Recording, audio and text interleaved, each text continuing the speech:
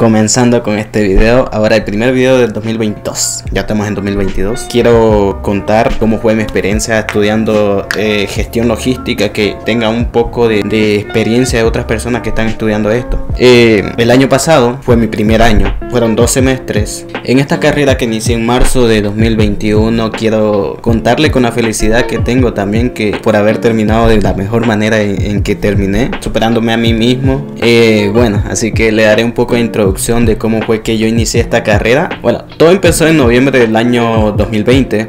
La cosa que en esa fecha estaba trabajando y sentía un gran vacío dentro de mí, en donde veía a mis conocidos que tenían carrera en, en curso o saliendo de ella, lo cual hizo entrar en, presión, digamos, conmigo mismo. Y aparte siempre fue una persona así que intenta superarse y superarse y fue jodido la crisis existencial que tenía. Bueno, pasaron los días y los cierres de ciclo de inscripción escolar ya cerraban y me estaba quedando sin cupo de, de estar ahí en, en esa carrera. Ahí es donde investigué carreras, institutos, universidades, fui seleccionando y descartando una por una las cosas que me gustaban. Llegué al punto en donde tenía logística, turismo y periodismo. Turismo lo quería escoger porque obvio, mayormente lo que escogen esa carrera quieren o se tienen en mente que van a una vez terminando su carrera, ciclo escolar, salen directo a trabajar o todo eso.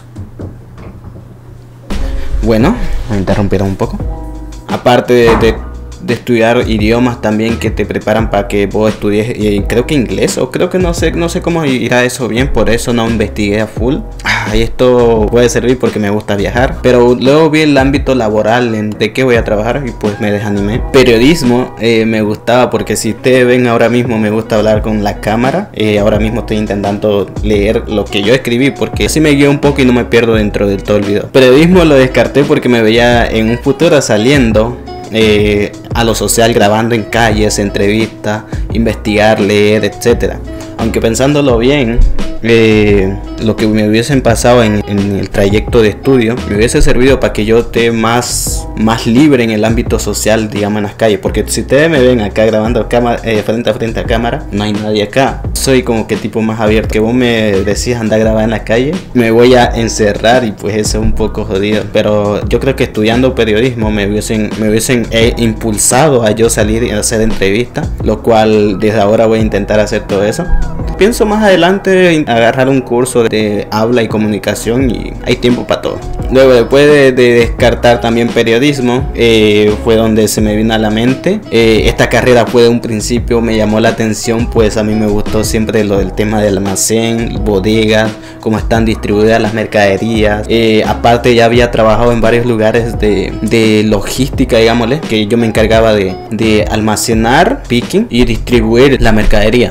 Bueno, acá en Chile, yo estoy viviendo en Chile, soy de Bolivia, pero estoy viviendo en Chile como hace 8 años. En las empresas que he trabajado fue en la Cencosud, bodegas de tiendas, también estuve en las bodegas de, Samsung, pero no estuve bien el tema de, logística. Yo fui a hacer otro trabajo, pero cuando entré a la bodega de Samsung, pues es un es maravilloso todo eso. Bueno, pasando al tema de, de, cómo llegué a la gestión logística, pues ahora entro más a fondo.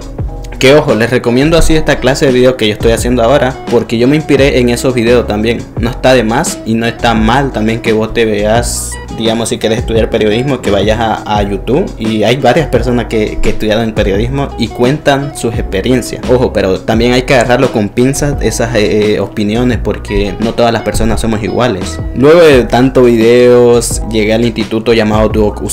Vi las mallas de estudio que me iban a enseñar, cuánto era la duración, cuánto es el pago. Bueno, sin mentir, lo primero que fui a ver si es que tenía matemáticas esta materia. Y bueno, si venís a escuchar eso también, pues yo nunca fui bueno en la materia de matemáticas. Y bueno, en esta carrera no se lleva tanta matemática, digamos. O bueno, en el DUOC. Eh, solo fueron matemáticas básicas, ecuaciones, la división, multiplicación, eh, álgebra básica. Que ojo, que ahí álgebra... Ah, si te mostrara mis notas del, del primer semestre, que no lo tengo pero bueno, con un poco de estudios, metiéndole a, harto estudio, empeño, pues vas a poder mejorar. Bueno, iniciando esto les adelanto que todas las materias que va a ser.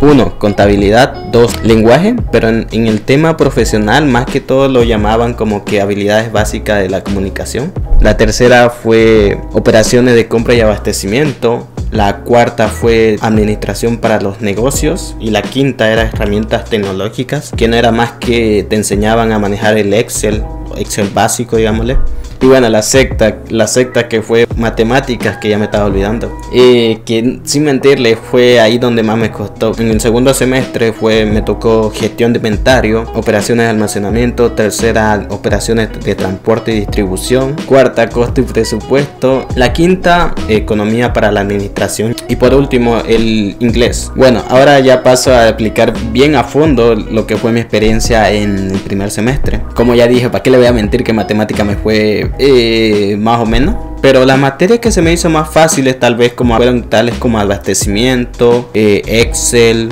pero en donde más lo sufrí fue matemática. Luego contabilidad fue como que un poco más de, de, práctica, porque eran como que tipo, vos aprenderte los, los tipos de cuenta activos, pasivos, eh, de ahí tenías que hacer hoja de costo, pero de ahí contabilidad fue el que más estrés también me causó porque eran las horas y horas como era yo principiante y no sabía nada, casi nada en realidad de, de, contabilidad, pues en los libros contables me tardaban horas y horas y eso me causaba mucho estrés. De ahí, eh, lenguaje, por más que me digan, ¿en serio te fue mal el lenguaje? Pues sí, guacho, yo, yo soy de los que leen, pero no tienen una buena, una buena comprensión, comprensión lectora, incluso hasta ahorita me estoy trabando ni hablarse.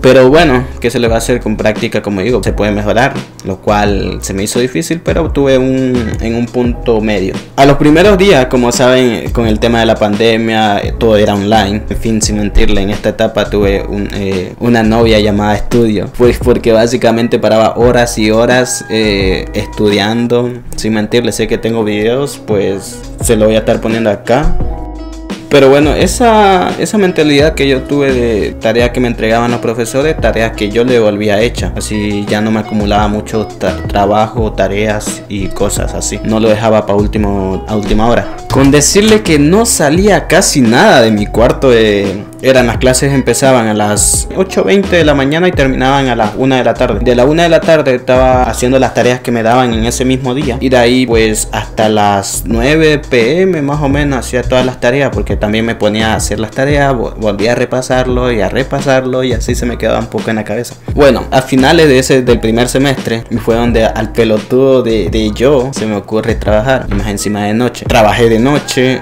en, ahí fue donde entré en Sud. El horario era de, de 11 a, 7 am, pues no me daba. Salía a las 7 am, las clases empezaban a las 8.20. Trabajaba en la comuna de Pudahuel, que está lejos de mi comuna donde vivo yo. Y llegaba casi justo a la misma hora que iniciaba las clases. Y vos vieras estar de 11 a 7 am despierto. Y más encima tenés clase a las 8, tenés clase hasta las 1 es mucha, mucha carga para mí en ese entonces. Y ahí fue donde mi nota, tanto en las materias que me costaba tanto el lenguaje y matemática, fueron para la verga. Por eso digo que casi congelé en esas materias. Cuando vi que mis notas se fueron para la verga, dije, me retiro del trabajo. Me sentí demasiado mal al ver mi nota de, cómo acabé. Eh, mis notas estaban todas así y verla así después que cayeron así. Dije, ya bueno, para el segundo semestre me propuse de mejorar eso. Y, y por eso es que hago este video, porque es un tipo de reflexión también que quiero hacerles para ustedes, que si están estudiando otra, otra carrera o están estudiando algo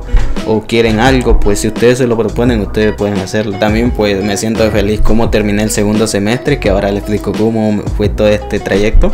El segundo semestre no fue tan diferente al primero de cómo fue mi tema de estudio o horas de estudio, aunque a pues ya lo tenía un poco controlado y dije me relajé. Este año que empieza mi tercer semestre en, en el Duoc, empiezo a full y poco a poco va bajando el tema de estudio. ¿Por qué? Porque ya voy un poco más adelantado, digámosle, con los demás compañeros, lo cual les recomiendo un poco mi primer incentivo ahí fue mejorar para y terminar el año de la mejor manera, mejor que el primer semestre. Y vaya que lo cumplí. Aparte, mientras pasaban las pruebas, mi incentivo creció por el tema de que en el Black Cyber o Cyber Day, no sé, creo que algo por ahí, donde bajan los precios de las cosas. Agarré y me compré un pasaje para viajar. Y dije, tengo que acabar bien para yo terminar una vez el estudio, irme de viaje tranquilo, sin, sin presión de que debo notas de cómo terminé el, año escolar.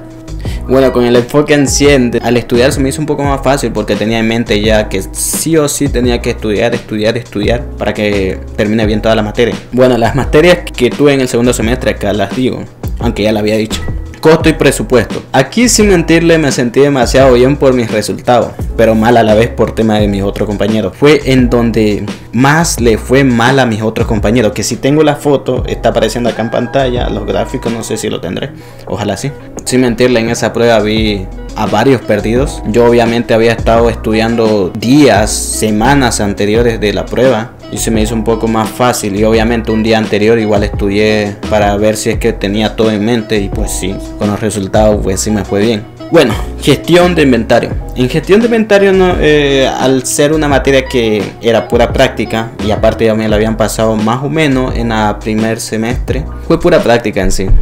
Nada que, que haya costado, digamos. Si vos no practicabas, pues te iba mal. Pero como yo practicaba, pues se me hizo fácil. Bueno, almacenamiento. Aquí otra materia que es pura práctica, aparte que este profesor fue el mismo que nos hizo eh, la materia de, abastecimiento en, en el primer semestre, lo cual le explicaba muy bien. Inglés, pues, como ya dije, para qué decirle, fue fácil para mí. Lenguaje, aquí es como el primer semestre. Aquí también me fue eh, fue demasiado fácil, aunque fue un poco más fácil esta materia porque era como que tipo nos hizo hacer un currículum, nos hizo hacer este, investigaciones y una de los de las pruebas que nos hizo el profesor fue estábamos con clases presenciales que fue ya estaba más normalizado en tema de la pandemia, ya había mayoría de, de vacunados acá en Chile y en esa prueba fue donde nos hizo investigar días antes en grupo, pero era individual la prueba. Un grupo seleccionaba una materia que en ese entonces tocó el tema de la contaminación en, los mares. Era así como tipo un reportaje, digamos, explicándole qué es lo que entendieron, qué soluciones, problemas, etcétera, de todo eso, de, de todo eso lo que nos hizo investigar. Distribución y transporte. Acá esta materia, por si me fuera, la volvería a repetir.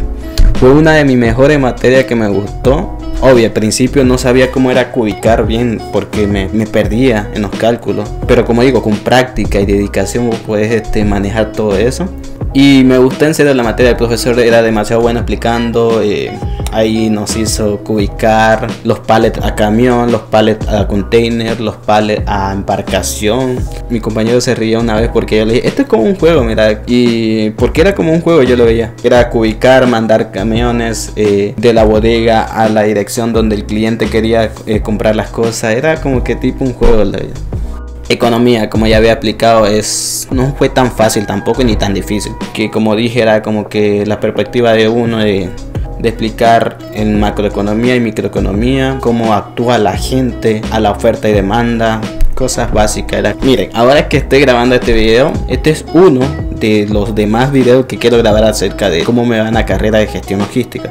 Así que si te interesa, te invito a suscribirte también si quieres ver el proceso y acompañarme hasta el punto de mi graduación. Sería bonito cómo termino la carrera con ustedes, digamos con ustedes, porque voy a estar subiéndolo, publicando el proceso cada semestre. Bueno, llegamos al tema del valor de, de, la carrera. También si te interesa y si sos de Chile, pasamos al valor de la carrera. Yo ahora estoy cursando la carrera de técnico en gestión logística, con el valor de 5 millones aproximadamente. El costo de matrícula es de 102 mil pesos chilenos. El costo de arancel pago mensual es de 216 mil pesos chilenos. La duración de la carrera técnico en gestión logística es de, dos años, cuatro semestres. Y ojo, en el DUOC tienen la opción de continuar estudios. Una vez vos sacado el técnico, puedes continuar tus estudios para ingeniero. El valor en la matrícula de ingeniería es de 134 mil pesos chilenos y el arancel de pago mensual es de 240 mil pesos chilenos. Estos valores varían según la sede en que elijas de dónde estudiar.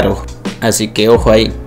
Bueno, le dejo mi punto de vista estos cuatro semestres. Primero, si no estás seguro si estudiar esta carrera, pues no la estudies. Si le tenés miedo a la matemática, como dije, aquí no llevamos mucha matemática, bueno por ahora. Pero si es que vos querés que te vaya bien en esta materia, que es matemática, pues vos te pones a estudiar. Hay videos en YouTube, eh, compañeros. Eso es lo bueno, los, compañeros que yo tuve se daban tiempo de explicarte vos cosas que no, entendías. Y también yo era esos compañeros que le explicaba a los que, a los que no entendían. Y así nos tuvimos apoyando poco a poco. Aunque lo recomendable eh, también sería tomarte un año sabático para pensar bien lo que quieres estudiar, obvio trabajando. Aunque también te recomiendo trabajar en algo en que te saque de tu zona de confort. Y como dije, esta esas clases de video o esas opiniones tenés que tomarlo como tipo una opinión, una recomendación. No tenés que agarrarlo siempre, digamos él te dice anda a estudiar esto, no vas a estudiar eso porque él te lo dice. Tienes que voy a investigar si te gusta o no, o ya saben a qué voy. Y bueno, voy dejando la foto acá de cómo me fue, o un pequeño corto video de cómo me fue en las materias, las notas que obtuve en, en este segundo semestre. Y pues me siento demasiado feliz porque ya estoy a nada de irme de vacaciones también. Y bueno, también voy a dejar videos, eh, fotos de, mis notas. Si te ha gustado este video y como dije, si quieres ver el proceso de, cómo terminó la carrera, pues te recomiendo suscribirte. Me ayudarías también tanto a mí. Así que nada, nos vemos hasta el próximo video. Chao.